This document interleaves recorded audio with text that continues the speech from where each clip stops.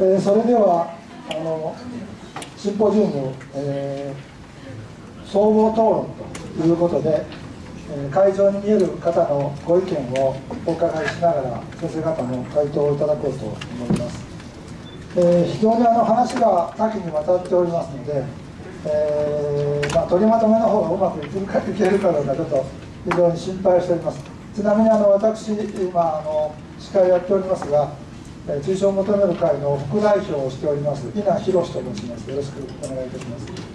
えー、設楽町ダムのできる設楽町に住んでおります、えー、数年前に町長選があった時に立候補して見事に落選した男であります、えー、地元で一生懸命ダムに反対運動をしている男でございますが、えそれではですね、え一応ですね2つに分けようと思ってます。1つはですね今日あの基調報告で、え、鈴木先生の方から、えー、三河湾の話をですね、え、じっくりしていただきましたのでその海の方から話をして、え、最後に山の方に入っていきたいと思いますので、えー、海に関わることで、えー、ご質問なりご意見などありましたらまずどなたからでも結構ですのでどうぞ挙手していただいてお願いいたします。はい、私あの六条型で朝日アサリの狩猟裁縫に従事している関係者のものですけれども先ほどの最初の話の中であの六条型の狩猟を他の地域であの移植してあの養殖してるということですけどその最後の方法ですけどねあの立木というか西三河とかそちらの方からあの最後に来てるグループであのサンドポンプのようなそういうあの採集法ですかね。そういう方法で取るとあの繁殖地を荒らすというかねそういう方法でやるあの面がありますのでそういうことをなんとか禁止していわゆる手作業というかねなんかああいうものでやれば取っても取ってもあの小さいのが残ってあの、うん、後に続いていくんですけど。それサンドポンプ式に全部あのどうかと一緒に掘り起こして取るそういうことはなんか規制できるような法はないでしょうかね。鈴木先生お願いします。じゃああの座ったままで恐縮ですけどあの今言われたあの方法というのはあの今日あの多分あんまり皆さん方ご存知のない方もあると思うんですけどもあのアサリの取り方っていうのはあの星漫画といってあの1人が海に入って一人一人あの小さな角輪のようなものであの尽力でまあ取るという方法とあとはあの桁引きといってあの大きなまあその桁ですね。要はクワのでっかいやつで船で引くというやり方。それと船で引く際に今あの6畳の方が言われたようにあの水流ポンプで砂を少し吹かせて貝をまあその巻き、まあ、泥の中にいる貝を少し巻き上がらせてそれをまあ取るという、まあ、水流噴射式というまあ桁大体その3種類があの今三河湾で、えー、アサリをまあ取る取り方としてあるんですけども今言われたのは多分その最後の水流噴射式ケタ網だとその問題があるんじゃないかと。その一つはですね、えー、水流でその砂地をこう吹かしますと当然一旦砂は巻き上がってそれがその落ちる時に砂の大きさによって落ち方が違いますからその均質な砂になってしまって地盤が締まってしまう。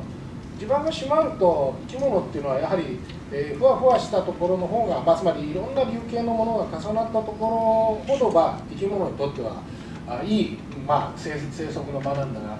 その砂砂が自然分球っていうんですけど分球してしまうと細かな砂ばかりになっちゃうとそれがまああの締まってしまうと。それはあまり貝にはよろしくないと。それともう一つは物理的にその水流でこう孵化しますから貝はその自然に、えー、その泥の中にいたやつが急にわーっとこう水中に巻き上げられちゃうから砂を噛んだりして、まあ、商品上の問題があると思うんですね。そういうまあマイナスのことがあるんじゃないかというふうにあのご指摘されたと思うんですね。でそれはですね決して否定しない否定できるあのしないものではないんですけれどもただこれはですね客観的に見るとあの例えばあの土質をですね、まあ、農業でもそうだけど高温っていうのをしますですね、まあ、耕す高温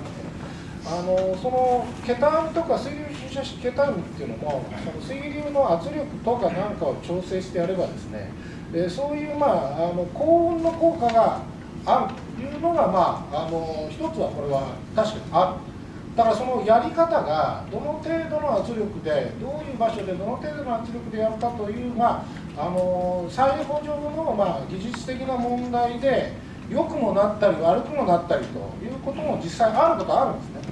だからといって私、まあ、今のご質問の趣旨はですねあの全部手作業で、まあ、やった方がいい。それはそれはベターなんだがやはり膨大な量の違いを例えば移植するということに価値を見出すんであればいやより効率的にあのな業務のその使用をするというのもですね決してマイナスでは私はないと思うんです、まあ、今申し上げたような理由があってです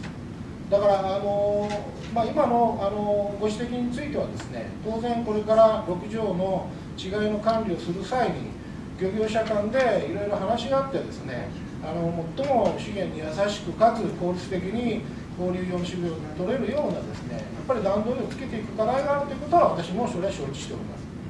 ただくどいですけどもその水流本社式のポンプがもう全部100%悪だとこういうことでは私はないと思います。えご質問の方よろしいでしょうかね。倉橋議員とかあの最後お二人の話をあの聞いたところあの、えっと、ダムのダムの土砂が1日に、うん、10トントラックで33台分止められるということでそれで加工に対するアセスがないというふうに2人のご意見を聞いたところそういうふうに捉えられますけどそれは本当なんでしょうか？あアセスなんかで？はい、ありえない話です。あのですね、あの愛知県漁業協同組合連合会、まあ、これ NHK で報道されましたですも、自主的にその漁業影響評価指針という全国漁業協同組合連合会があの主体として作っているあの開発事業に対するその漁業影響の指針というのがあるんですね。まあ、それに沿ってですね、あの聞き取り調専,、まあ、専門家の聞き取り調査をやって、それでまあその意見をも受けると。ということであの、これ実際やったんですね。でそれはあの私もあの見させていただいたんですけども、あの漁業者側があの全国の専門家、また関連のダムを抱えている漁業協同組合全国にアンケートを調査した結果、ほとんどのところでやっぱりダムの下流域の河口域には影響があると考えると、これが圧倒的だったんです。で先ほどあの弁護士の方があの環境影響評価書も漁業協同組合連合会ので、まあ、いろいろ検討した経緯も私も承知しておりますけども、不利で止まって、あとは影響がないと。これはいかにもこれはですね、あの恣意的ではないかと、まあ、その専門家なり、まあ、ダムを抱えてる各地域の漁業協同組合の意見は、まあ、ほとんどがですね、今申し上げたようなあの加工に影響が出ると。で特に心配しているのが、あの泥濁りあの例えば渇水の時に安心環境影響評価書にもあるようにダム渇水が続いてダムが空っぽになった時に急激な例えば出水があると相当の濁水が多いその長期にわたって川から海へ流れ込む可能性があると。だ泥濁りっていうのは一番そのアサリの稚貝にとって生育状況が悪いわけで場合によっては埋設してしまって死んでしまうっていうような事例も天然にあるわけだし生育を阻害してしまうという。って特に違いが発生する河口域ではその泥濁りがダムによってどうなるかとそのことについて不利で消えるというのはおかしいではないかと。でその中にですねあの私もあの漁連の方が聞いたんですが浄化係数という係数がかかってるんですよね。でそれはどこかのダムのその濁りの減水具合から一定の係数をかけてその係数かけると不利で消えると。だけどその物が消えるわけはないわけで必ずそれは海底にたまるんですよ。川底に。で川底に溜まったものがなくなるわけではなくて次の出水また出てくるわけですから帳尻が合わないじゃないかと。まずその一点でその環境影響が不可不利で終わるっていうのは、ま誠にこれ持った漁業者側にとってみると納得できないのできちっとした調査をやってくれという要望が正式に出てるはずなんですね。だからあの、まあ、今のご質問については漁業者側はあのとにかく今申し上げた非常に極上というのはあの今あの言われた方々も携わって非常に大事な愛知の、まあ、漁業の重要な場だし水質浄化の場ですのでそういった問題が払拭されない限りは漁業者側はこのここの建設についてよしとは言わない。一野先生どうです。か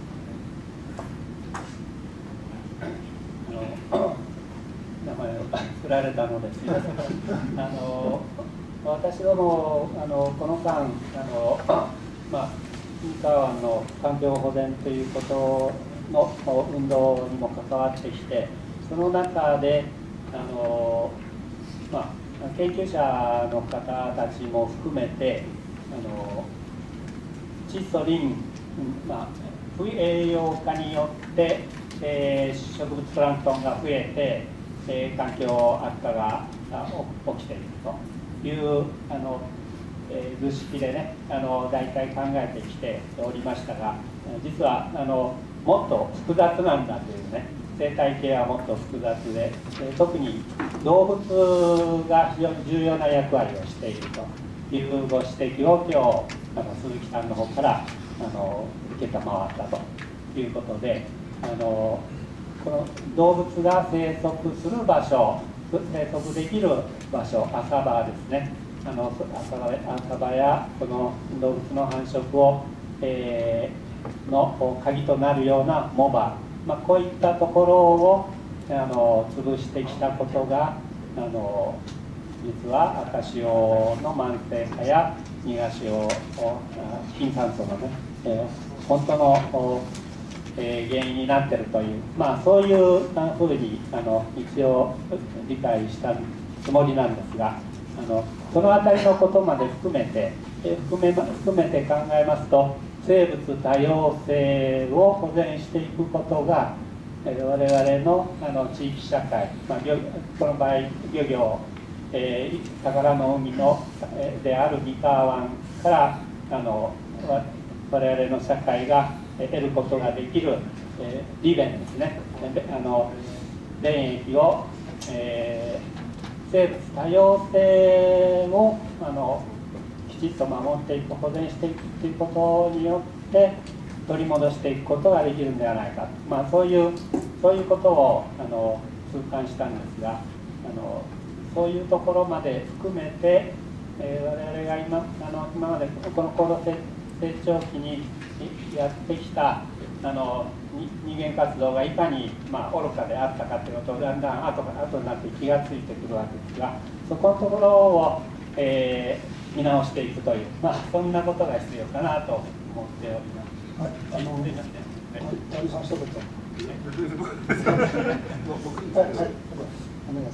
あの質問の趣旨としてで僕議会で質問しましたので行政はどういうふうに答えたかっていうことを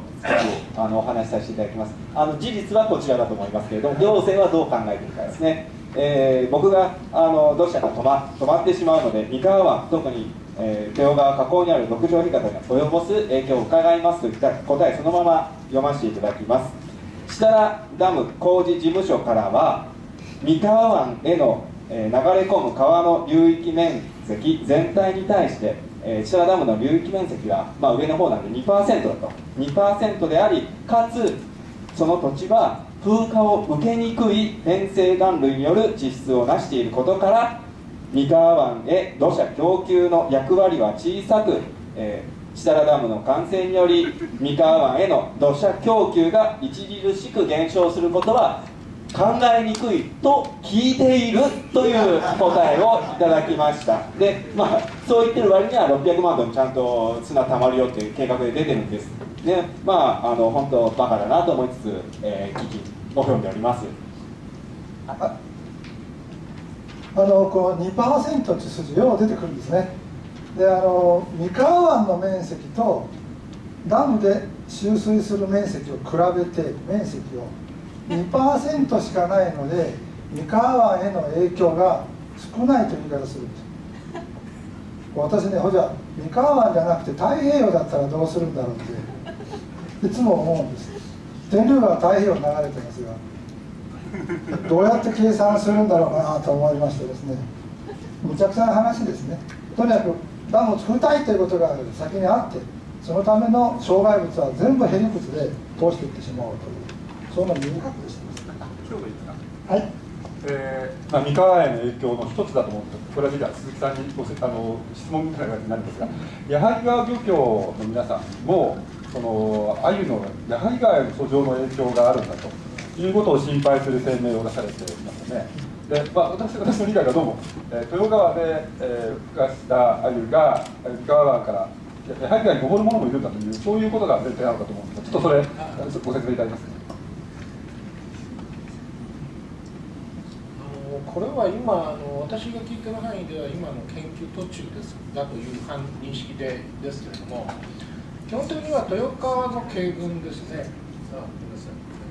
豊川の渓群と矢作川の渓群もう少し広ければ木曽山線の渓群つまり伊勢三河湾の固体群っていうのは相互に混じってる可能性がある。だから今申し上げたように例えば豊川へ操縦して下ったやつが次にやあの例えば矢作に上がるとか矢作のものが豊川に上がると、まあ、場合によっては木曽山線こういうその流形間のですねあの交雑が鮭と同じように五線回帰という形できちっとしたものじゃなくてかなり緩やかなものだと。だから豊川に影響がアイソーに影響があればそれは伊勢三河全体の愛資源に影響が出る可能性があると。それは否定できない。ただそれがきちっとした例えば今の論文になってるかどうかという話になるとまだ研究のさなかなので明瞭な例えば遺伝的な特性からそれを特定できるつまりあの人間で DNA 判定みたいなもので個体が特定できるかどうかという技術も、まあ、今その進化の途中なのでなかなかその明瞭にはい切れないがその可能性は非常に高いというふうには認識されている。えー、だいぶ話が発展しましたあのよろしいでしょうか？えー、私はあの八重川の方の漁協の方から聞いたんですけど八重川はですね、まあ、ここに関係者見えるかもしれません。が途中にダムがたくさんありますので遡上してくる鮎をどうするかというと途中で捕まえてですねトラックに乗せて上流へ運ぶ。で今度は帰ってくった鮎は発電所のところの集水水を取るところで網を張って捕まえて今度は産卵する場所へトラックで運ぶ。その費用を国土交通省が出してくれるから嬉しいよって話を聞いたことあります。あの豊川がそうならないようにしたいもんだと思います。で非常にあの八重川ダムあの鮎がちっちゃくなってますね。豊川のダムもあのごめんなさい鮎もちっちゃくなってます。先ほどあの私言いました私の息子がたまたま球磨川のほとりに住んでおりますのであの川辺川を下ってくるあの鮎ですね大きいです。尺鮎って言います。これぐらいあります。ものすごい幅広いですね。であれが自然の姿かなと思いますとやっぱりかなり愛にとっても負荷がかかってるんだなということは思います。あの批判するわけじゃなくてサポートする意見なんですけど、はい、あの今私あの静岡大学で生態学の研究してます。それで、まあ、理論的に研究してるんですけどもあのあのあの一つは移植の問題であの猫木を移植すればいいっていう意見でしたけどアセスは。これとんでもないことであの生態学のでは昔からハビタット・スピーシーズ・プリンシプルっていうのがよく知られてるんです。つまり生息地にその生物はいるその関係は非常に密接なんだっていうことが常識です。これ生態学の。だから移植すれば成功する可能性はあの非常に危険を伴うわけです。で生態その猫キの生態がめちゃくちゃよく詳しく調べられてて初めて移植はできますけどまだそんな水準ではないので移植するとすごい危険です。その何などんな要素でそのそこに住み着いているのかっていうのが10個とか100個ぐらいの要素があるわけでそれを1つでも失ったらもう移植は失敗するんです。でその問題がまだあの生態学ではいろんな論文がたくさん出てていろんな種に対してその移植はあのあのハビタスピーシーズ原理を研究している最中ですまだ。それからもう一つもう一点で熊高のことであの他の生物との関連を議論してないとか言ってそれも僕びっくりですね。これ生態学者は全く絡んでないと思いますね。本当に生態学の常識としてあの例えばあのこういうことがあの例えば天気は西から東に移るっていう常識があるでしょそれと同じである生物が減ったらその上の上位のそれを餌にしてる生物は減るという常識があるんです。その関連のあのそういう常識があるんですね。ところがもっと大事なことはその生物が減って今度はその生物の上があの影響を受けてその生物のまた別な生物が影響を受けてっていういくつかのあのパスがあるんです。そのパスはのことを間接効果っていうんです。インデ indirect effect って言ってで毎年その indirect effect に関して論文が山ほど出てます。生態学の雑誌に。でその影響が伝わるたびに減衰するという常識は成り立たないんです。つまりそのあるところで増幅してくるんです。だから影響は全く予測不可能になるっていうのが今の常識です。これたくさんの論文がかあのすみませんちょちょっと三河湾の話を先にえだから三河？あそうか。三河。すいませんこれ三河じゃなくて別の話になっちゃいましたあとまた次そこ、はい。そこ突っ込みたいと思います。すみません三河湾についてどうでしょうかね。ご意見ありましたらお願いします。あのこれ質問なんですけれどもあのパフォーマンスかなっていうふうにちょっと若干思ったんですけど大村知事があの片、えー滋賀県知事にあの三河湾の環境について まあいろいろ教え願いたいっていうようなあのそういうようなあのこともあのやってます。まあ一つはパフォーマンスかなと思うんですがあのしかしまああの大村知事のその考え方というのがあのどころどこどころあたりにあるのかなとでそういうことをそのやって、まあ、ある意味スポーツかパフォーマンスか分かりませんがあの、まあ、鈴木先生なんかどのように 感想をもしおありになったら教えていただきたいと思います。あのそれでダムがねそういうやっぱり影響があるというそこら辺にこう落としどころがあるといいなという希望ですがすいません。あの小村知事さんがあの滋賀県のあのじいさんとあの握手をされてあの滋賀からあの専門家を呼んでみかんでも協力というような確かそんなお話だったと思うんですけどもまあ滋賀県の琵琶湖真水だし三河湾は海ですから。どういう関連があるのかちょっと私自身はよくわからないしあの先ほどちょっと私で今話したように海と湖とは基本的に違うんですね。あの同じ水域であっても。で海というのはいろんなところから窒素とかリンが入ってくるわけで蛇口がたくさんある。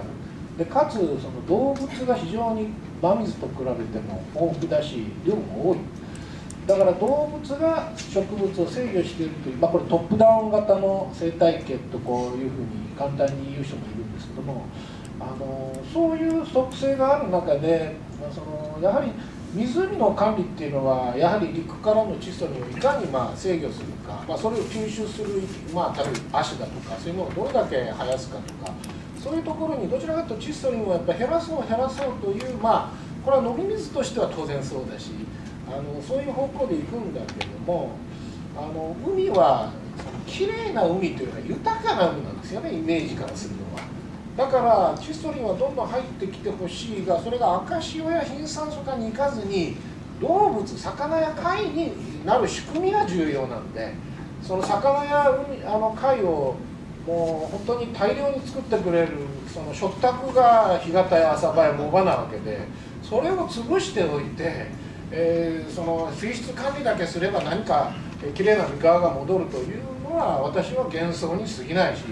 そういう試みを今やってるのはこの三河は多分あの日本の中でも最もあの進んでいる海域だというふうに私自身は思っておりますし公安計画も先ほど一野先生説明されたようにやはり漁業者や住民の意見を反映しても保全せざるを得ない状況を、まあ、開発事業者の方々もそう思い思っているし伊方浅場の造成についても、まあ、いろいろ積極的な意見を他の会議に比べれば持って見えるわけでそういう面では、まあ、今のぜひ大村知事さんにはその単なるパフォーマンスじゃなくてこういう一つ一つの事業一つ一つの問題に具体的に関与していただければそれは私も一県民として非常にあの喜ばしいことだなと思っております。どうもあの今市民団体でいろいろ活動して見える方は批判的なような意見が多いなとは感じてはおりますけど。はいどうぞ。私あの奥見川の風景に取り込んで大体年に3 4 0日あの写真撮りに川入ってるんです。でアセスのことでちょっとお尋ねしたんですけど猫銀ギ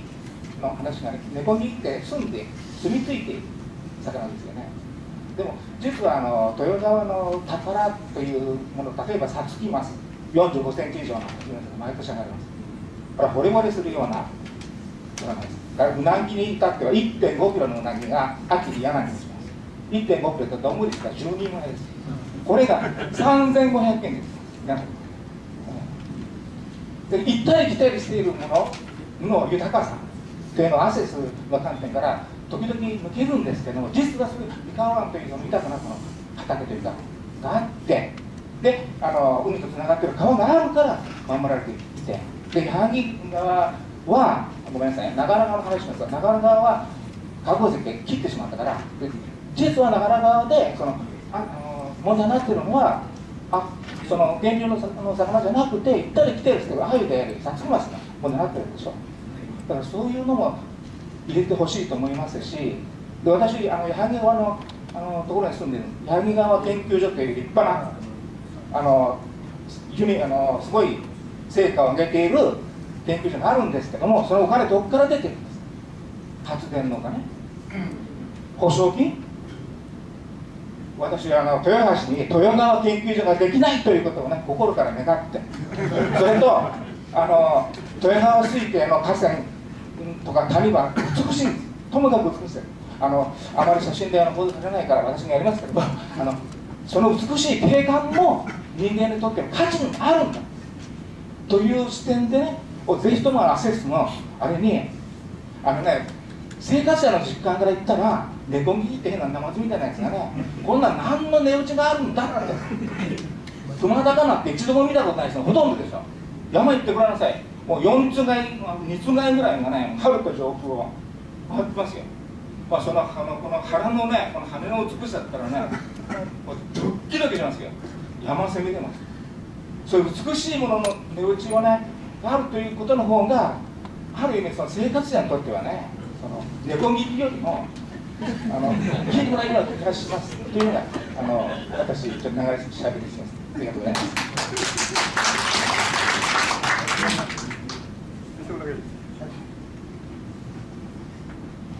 あのご指摘は全くその通りで私も猫聞きを最初にとあのトントバ静岡で見た時にこんなやつかというふうに思ったことは正直なところですがあのそういう、まあ、あの市民にとって分かりやすいそういうシンボルっていうのは重要だということはあの、まあ、人の運動としてはもちろんそうですよね。でただあのやっぱりアセスという観点になった時にあの今ご指摘をいただいたようにですね非常に貴重種レッドデータブックに載ってるぞとかですねそういうところばかり注目しがちなんですが本当に身近に存在しているべき魚、えー、ご指摘があったような、えー、そのか海と川を、ね、行き来している生物が本当にちゃんと、えー、生きていけるのかという観点でその、えー、生きた川が保全できるのかということがあの多分最も重要なアセスの観点なんだろうなというふうに思います。あのご指摘ありがとうございました。あの今の方の言われたことを私もね最もだと思うんですね。で私この設楽ダムの問題にすごく興味を持ったのは私出身が新城市です。で、まあ、子供の頃から豊川で遊んであの鮎を手で掴む方法って皆さん知ってますか？素手で掴む方法。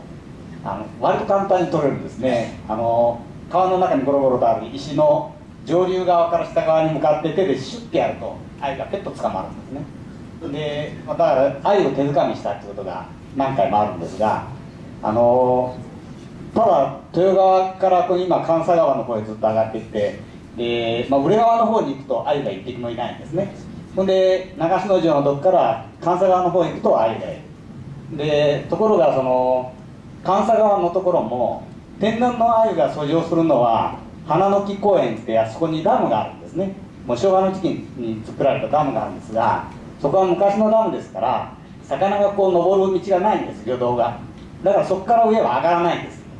でですからその関西川の花の公園のダムのとこから上のやつは全部下からあの例えば琵琶湖の鮎を持ってきて上に放流した鮎なんですね。であの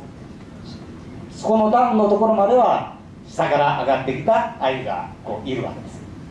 で、えーそのすぐ下のところにたまにテレビでやりますが鮎滝っていうのがあって笠網漁っていうのをやってますが、まあ、そこのところはその地域の人しか漁業権がないんですがあのまそれでこうその辺のところのですねじゃあダムがそういう状況の中でダムができることによって豊川のダムはどうなるか関西側のダムはどうなるのかということでまあこれまああのちょっと話が長くなりましたがいや市野さんとはま高校の同級生ということもあるんで彼から聞いた時に関西側の鮎がおらんくなるぞと。今に関西側から鮎が住めなくなるよって話を聞いてそれは大変だと。あの鮎が食べれるようになったらいかんなと思ってじゃあダム作るの反対せないかんと。いうふうに思って、まあ、同期の連中にも多い反対しようよって言って呼びかけてるんですがあのその辺のところのアセスがねその、まあ、さっき海から川に上がってくる。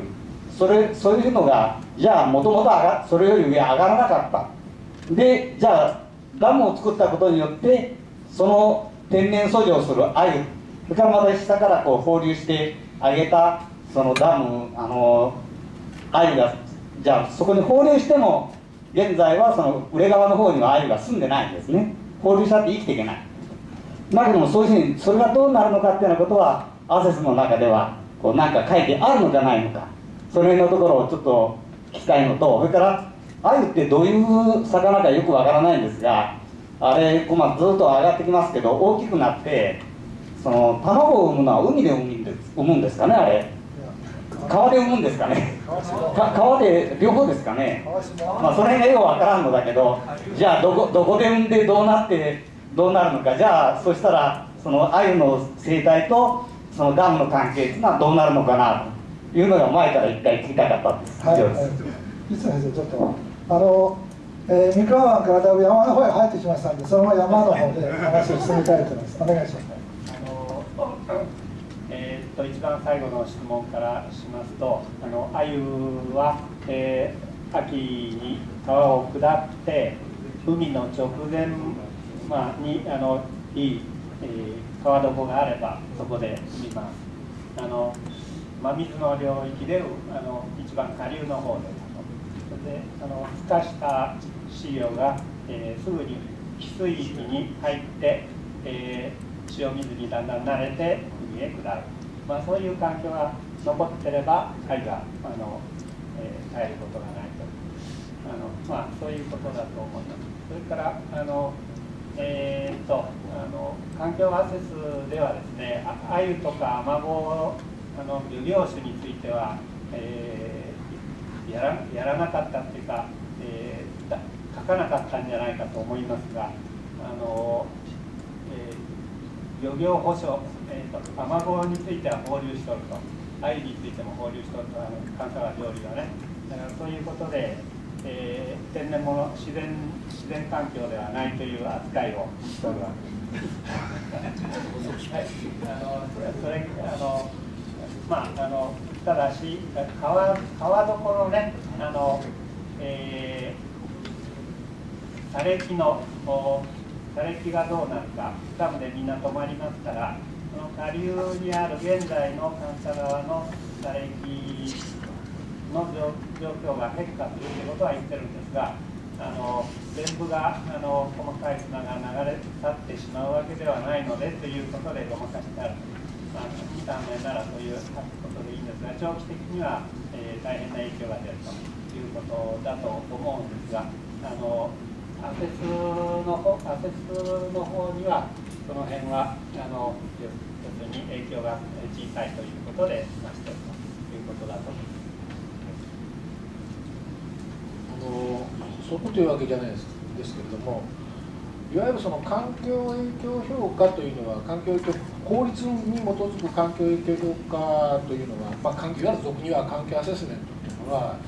環境基準を達成するか達成しないかなんですよ。だから濁りですよね。濁りの濃度はこういう構築物作ってもまあ達成しますよ。例えばあの COD とか、まあ、マンテ窒素とかには達成しますよ。だからその環境基準をクリアするかしないかっていうのがあのアセスメントのまああの主たる目的でそのさっきちょっと生態系とかですね、えー、特にその水産生物ですね。鮎それからアマゴウナギさまざ、まなその水産生物特に漁業生産に関わるものっていうのはこれは産業のあの中に含み込まれている、まあ、いわゆる利害損得が生じるものですからこれは保証になるんですよね。だから環境影響評価の中からはこれは除外されているんですだから漁業者側は怒ってしまって環境影響評価したから漁業に影響がないっていうのは飛躍ではないかと。もう実際まともに調べてないんじゃないか。だからあの先ほど申し上げたようにこれはあの1、2巻だけじゃなくて全国でそういう問題があるのでだからまあ全国漁業協同組合連合会が漁業への影響指針というものを独自にこれは法律じゃありませんけども指針としてこういうふうにやってよねというのを出していて、まあ、それに沿った調査を、まあ、あのやっているところもあるしやって、まあ、いないところもあるんですけども、まあ、今回のこの豊川の志田ダムについては今やりつつあると第1段階はやってるということなんです。えー、っとですね、先ほどですね話を切ってしまいましたんであの静岡大学の田中先生もしお話ありましたらここで。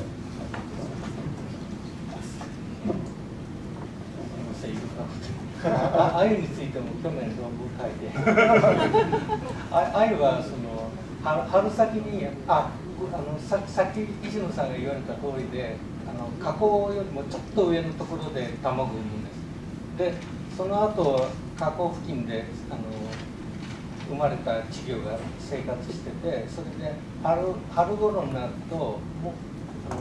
もうすぐですけど遡上を開始して上の上がってくるんです。それであの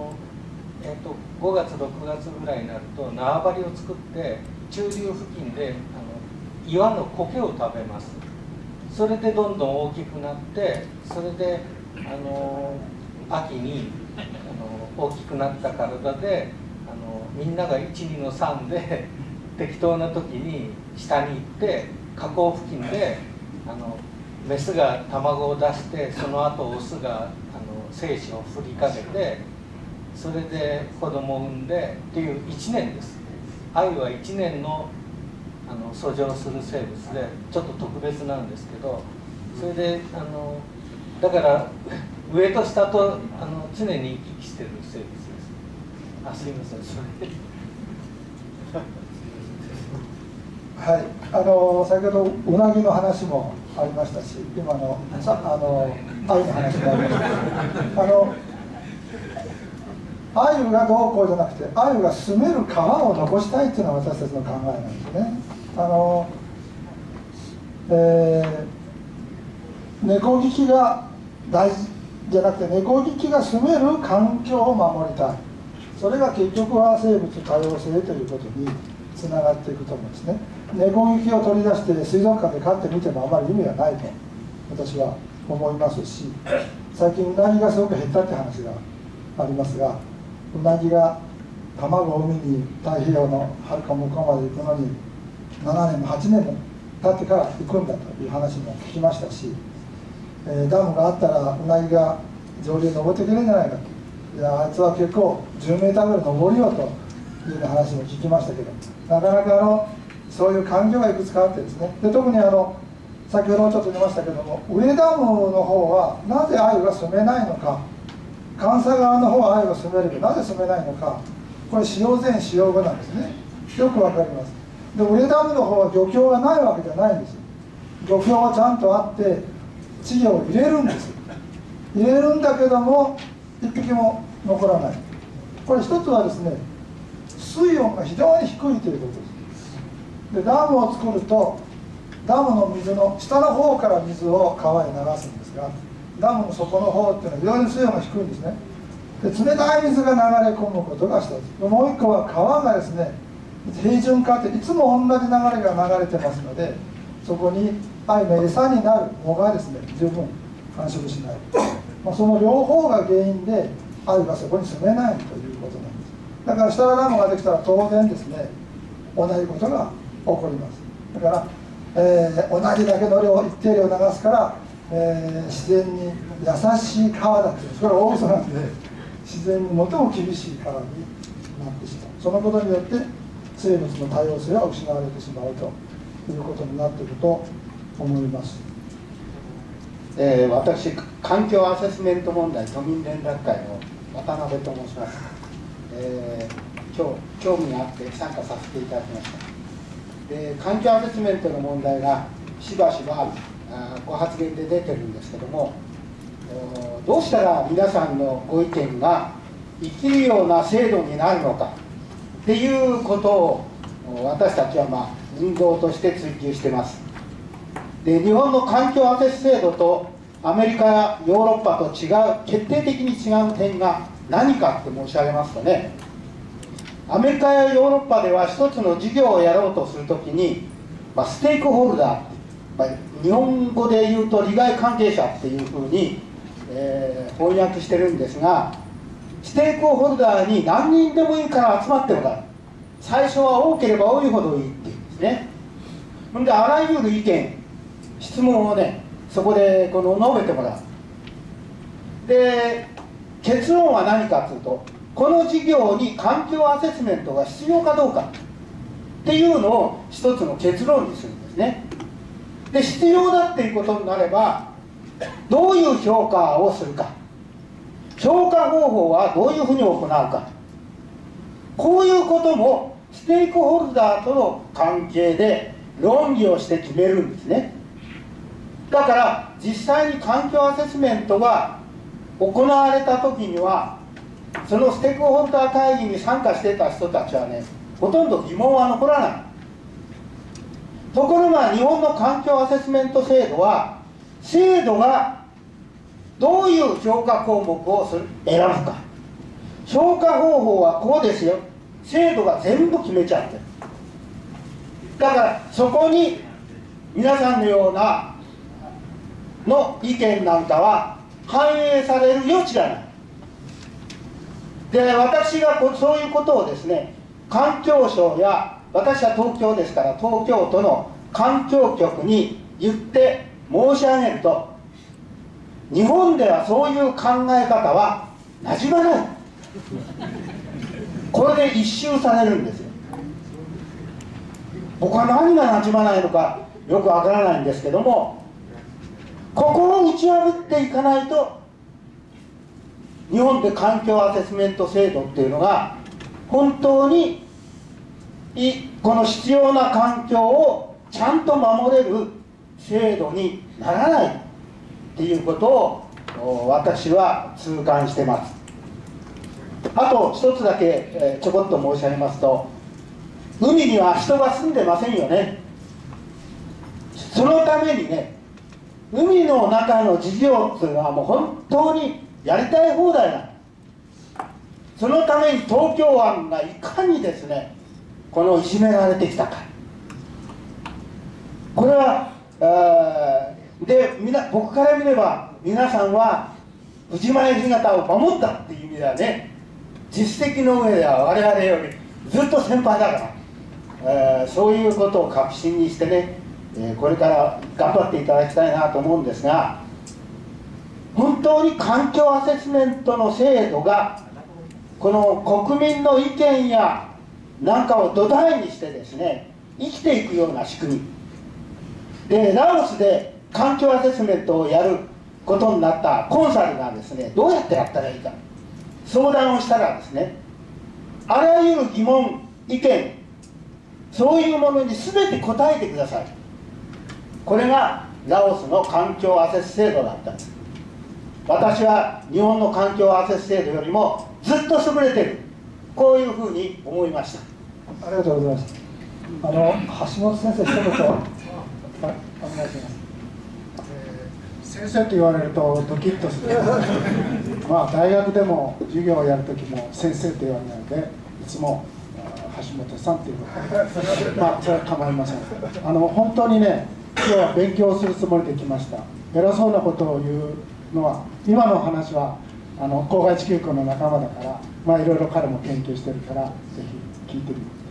私はね自分で運動をやって裁判もやってるし30年間環境の問題に携わって常々思うのは専門家というものほど怪しいものはいない。いや隣にいらっしゃる鈴木先生は そなところどころにまだらめでいい人もいますけどもほとんど金にまみれて何らかの関係を持ったで、えー、これは具体的にお話ししますと高尾の裁判っていうのは11年数ヶ月やってきましたもう3つ裁判やったんであなたは弁護士さんですかって言われるぐらいで大学の、えー、法科大学院でも今授業も持ってます。何が問題なのか。行政の持っている全ての情報。全ての情報は全部道路であれば国土交通省が全部握ってます。それはブラックボックスです。裁判の場の中でどんなに急釈明つまり情報を提出命令をかけて裁判所にそこまでやってもらってもそういうものはございません。保存してません。例えばもう時間がないから一言だけ申し上げますと今問題になっているのは道路を作る場合、まあ、これはダムもそうですけど B by C という費用対効果お聞きになった。100円かけて200円の経済効果があれば B by C2 ですね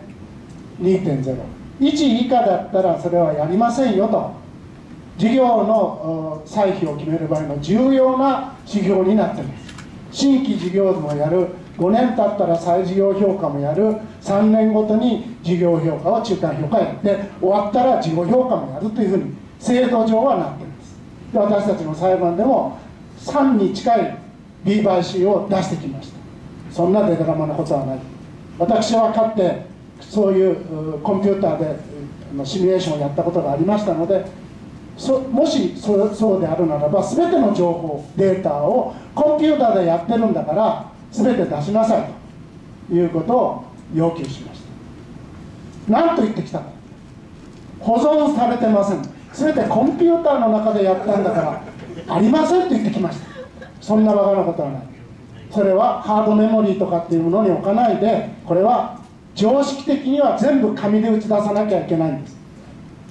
そういうようなことがあったので最終的には裁判所もそういうデータを保存してないということは第三者が検証もできないと。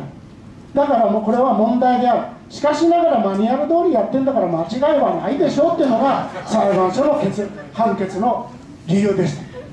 私たちは0勝7敗です。もうここまで言えばお分かりだと思う。行政の持っている情報を皆さんたちいわゆる素人の私たち市民がどうやって研究者とも良心的な隣のような研究者とも鈴木さんみたいとかいろんなそういう研究者と協力し合って一生懸命になってそのブラックボックスを打ち破るその戦いがいわゆる僕は日本の民主主義の戦いだというふうに実は思ってます。それが市民運動であってどっかの偉い政治家が変えてくれるのではなくて私たち一人一人が本当にその草の根から頑張っていかないといけないなというふうに思って皆さんのお話を伺っています。よろしくお願いします。あの私設楽町の住民だって話をあのしましたが今設楽町でね一個話題になっていることがこれ先ほど、えー、鈴木先生がお話しされたこととも関係してますがあの下水道の話です。でえー、設楽町個数たくさんありますけども田口って先ほど言いましたがダム湖のすぐ横のところにある集落ですがそこにですね500軒ぐらい地があるんですがそこだけですね国土交通省がお金を出して下水道の施設を作ろうというですね費用がなんとですね建設費がはっきり私覚えてますが建設費が大体25億円ぐらい。それで維持管理費が30億円ぐらい。合わせて55億円ぐらい。個数500個ですから割り算するとですね1件あたり1000万円超えるんですね。でそのお金をじゃあ誰が出すのかということですね。これあの設楽町はたくさん出さんでもいいからいいと法律ね。これ水徳法っていう法律があってですねダム建設をするときには川島や県や国がこう援助してくれる。で設楽町だけだと2億5000万円ぐらいでそれだけの工事ができちゃうんだから安くていいじゃないかと。こういうふうにおっしゃるんです。でも一軒一軒のうちは実は負担金がかかります。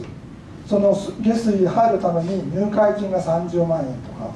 それからその下水引くまでの引き込み線はあなた自分で払うんですよと。多いところは100万円ぐらい少ないところで50万円ぐらい出すんですよって。そんなお金を払ってですね私のところは合併浄化層になってるんですが合併浄化層の方がいいじゃないかというふうに思うんですがあのそういう話が出てきてしまう、えー、それからその維持管理費をじゃあどうやって払うのかというと基金っていうのがあるんだ大体これはあの川下の人があの積み立てて払ってくれる。だから豊橋や豊川の方に出していただいたお金で私のうんこが流れていくわけです。でどこへ流すんだっつったら一番低いところへ浄化層あの建物を建ててそこから一番低いところどこだっつったらあの実はその場所がですね、えー、この前の話だとですよ。この前の役場の話だと事務所っていうのがあるんですが事務所のすぐ下。そうするとそこから出た水はダム湖に入っちゃうぞと。ダム湖に入れるの？念押しをしましたがきれいな水だからダム湖に入ってるいいじゃないか言われました。むちゃくちゃの計画です。であのお金さえですね自分のところの負担がかからなければたくさんの工事やってもらえばそれが町長の定石であると。いうような形をしていくと結局そのお金は回り回って消費税へ返ってくると。皆さんいいんですか？という話になるわけですね。だからあのそういう情報をできるだけお互い交換し合いながらですねより良い方向に持っていけたらなと思います、えー、時間の方があと5分ほどしかありませんが最後に一言絶対言いたいと思いましたらぜひどうぞ。これは質問ではないので意見になっちゃうので最後。えっと、今ですねあの情報がブラックボックスだっておっしゃいましたけども、えー、私はむしろ情報公開請求をしてですね情報を取ることは、いわばブラックボックスをこじ上げこじ上げるですね。重要な手段だというふうに思ってます。それでこの下のダムの例によるといくつか情報公開請求やりました。それと、えー、ブラックボックスの中身が分かったんですね。先ほどあの一つは先ほど言いましたように、えー、今回検証の場でえー、ダム案と稼働回収案とどちらが安いかということはですねあの公表されているものについてはですね大体同じぐらいの金額なんですね。中身を見るためには情報公開提供をして、えー、どのように水位がなってどういう浚渫なりをやるのかということをやった結果ですね分かったことは実は稼働回収をやった方が、えー、23%安く上がる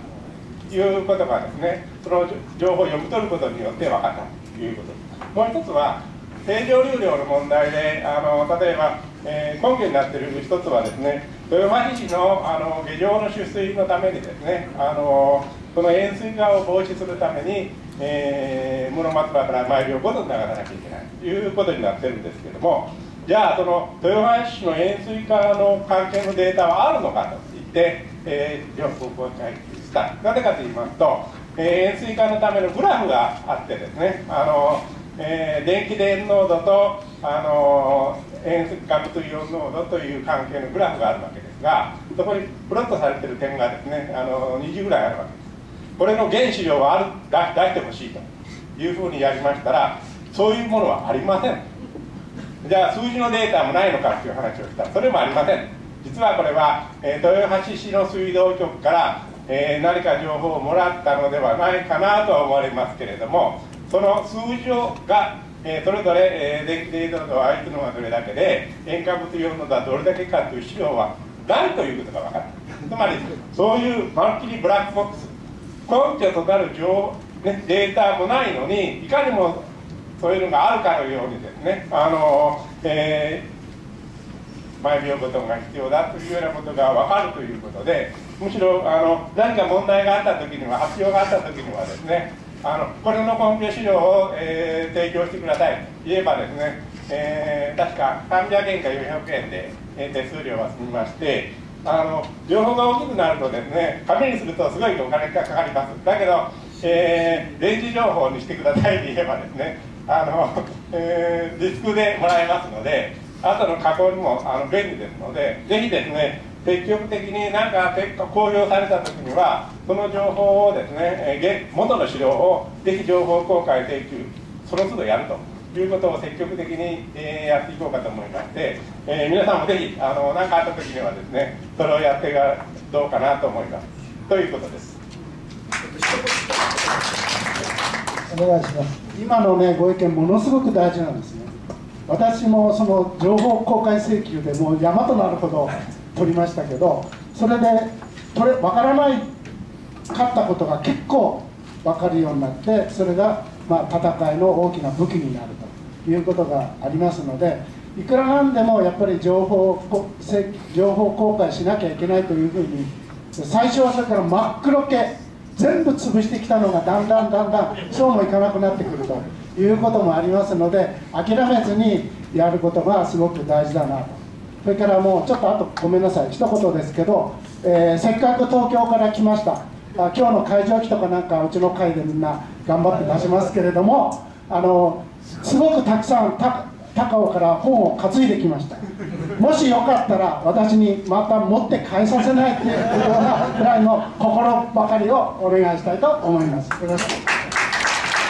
ありがとうございます。今の話とダブりますけどもあの設楽ダムの方もですね今回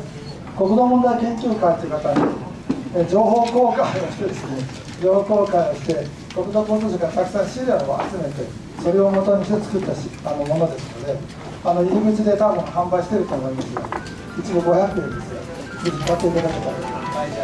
カンパあカンパごめんなさいあのすいませんから怒られましたカンカンパをしていただき500円よろしくお願いいたしますそれではあの予定した時間が来ましたので、えー、大変下手な司会で申し訳なかったですが、実りある機会ができたんじゃないかなと思うんですけど、ありがとうございます。